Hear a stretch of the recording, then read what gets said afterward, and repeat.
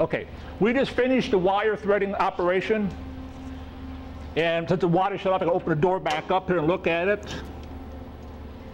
And it's a little hard to see, but the wire now has come from the top all the way through here, down through there, and here again. So you, can, you can't really see it, but there's a wire going across those two spots. I'm going to do something here. It's not part of your manual. This will kind of show it to you if I can. And I don't know if you can see it there in the camera or not. The wire going across there. That's the wire we just threaded into there. So that's the operation we just did. So now it's ready to start its cut.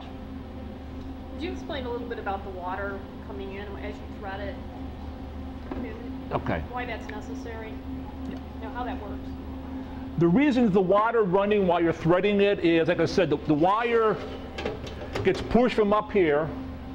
It gets pushed and shoved the whole way down through here to this nozzle, back through this one, and the next roller's in the back.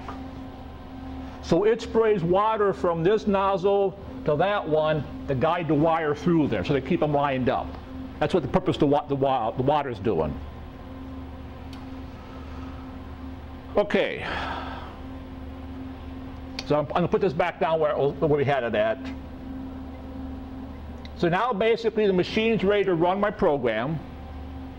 I'm doing this a little bit different order. But the other thing we need to do on the, on the machine is depending upon the material we're cutting, we need to set up all the, elect the electrical charges. So, so we're cutting electricity, we need to determine how much voltage, how much amperage, how often it cuts, the whole bit. So on the machine, we want to hit the data bank key. And you notice when we hit the data bank, the screen changed. And I want to be sure, I want to pick number two, which says cutting technology. To enter. And then here I have a whole series of keys, of settings. Feed rate, spark cycle, spark energy, wire speed, all this stuff that controls electricity. We've made up a little booklet over here, not very fancy, but depending upon what you're cutting, here's the setting. Like for eighth inch aluminum we have feed rate 0.4, spark cycle 29, uh, quarter inch aluminum, feed rate 0.5, spark cycle 42. So we have to have these set according to what you're cutting. And let's just say for us right now, we're doing um, one inch thick steel. We'll pick that one. What, I got a piece of eighth inch aluminum, also I'll do that one. Feed rate, 0.4, we already have that one. Use the cursor key.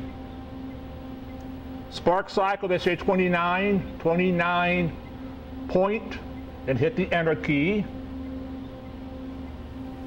Spark energy is 12, we have that. Wire speed 18, we have that. Wire tension 15, 35, and maximum speed 0.6. So those right now all agree. We gotta make sure that they agree.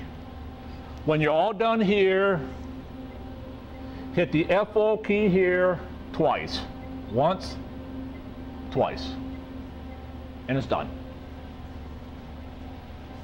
So now this machine is ready to cut apart. Okay. Need to go back to